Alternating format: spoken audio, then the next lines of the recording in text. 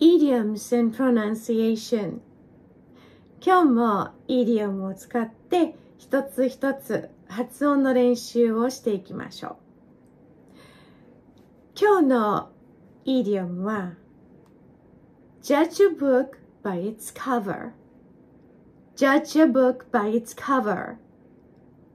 では意味は何でしょう？想像はつかれると思うんですけれども judge は判断するという意味ですよね。判断する。a book 本を判断する。by its cover その cover でつまり外見でその人の中身や物の中身を判断するということなんですね。これはちょっと要注意ですよね。外見ただけでね、中身なんて見えないので、ちょっと注意しないといけませんね。では、一つずつ見ていきましょう。最初は judge。最初の j の音なんですけれども、これは破裂させる音と摩擦させる音。この2種類が入っている破殺音と言います。要するに破裂させて摩擦させる。日本語にはなかなかない音ですので、えー、しっかり意識してほしいところですね。で、一つ、ジュッとね、こう、摩擦させるだけの音とごちゃ混ぜにならないようにしてほしいなといつも思っているんですけれども、ジュの方は、例えば、そうですね、ジュースだとか、ジャイアントだとか、ジムだとか、これらがこの judge と同じ音になります。間違えてほしくないって言ってる音、摩擦だけの音は、ジューってなるんですね。摩擦そのものですね。例えば、pleasure だとか、treasure だとか、ジューとなる部分。全然違いますのでね、えー、何かあのもしかしてこれどっちかなと思ったらね発音記号を調べてみてくださいはい。では judge この真ん中の母音アクセントがあるところですけれども bus とか cup と同じ音ですね。で judge 最後の ch も最初と同じになります。次が a book となりますがここのあはしっかり着火させてください。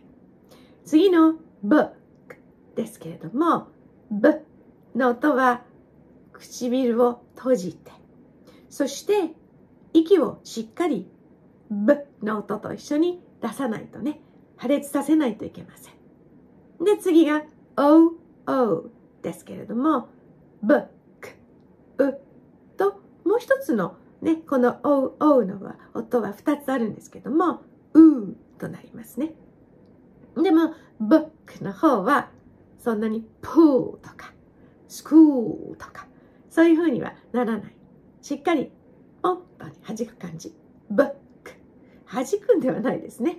スッと短めに出してください。book。book。最後の k の音。これは、えー、そうですね。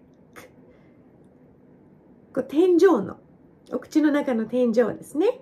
の奥の方が柔らかくなっていますよね。この部分に下の付け根がしっかり触れます。そして息をクッ出してください。く、くですね。で、触れて息を出すときは舌が外れますよ。上からですね。そうしないと息出せないですからね。で、book。次が、あ、その、そこまで行きましょうか。judge a book。judge a book ですね。そして次が buy。これは購入する、買うと同じね、音になります。buy。buy。it's。it's。a の音はね、あの、難しいですよね。あいうのいじゃないですよね。え、なんか、えに似たような感じ？え、ここではそのカバー、ね、表紙って言ってるので、ここで若干はちょっとあんまりさせずに、ちゃんと、えは出したいかなと思います。it's ではなく、it's cover で、次のくもさっきと同じね。book そして、あ、これも同じく bus とか cup とかと同じ音になります。で、次が v ですね。これは上の前歯を。下唇の濡れてる部分。あんまりねあの唇の外の方だと噛みたくなってしまうのでそうなると正しい V の音は出ないですので軽く当てる感じですね。濡れているところ。そして息を V 出して。この息結構ねお腹から出してあげないとしっかりした V の音は出ませんので気をつけてください。最後が er ですね。r の音がきます。girl とか。ねそれと同じ音になります。では cover cover ですね。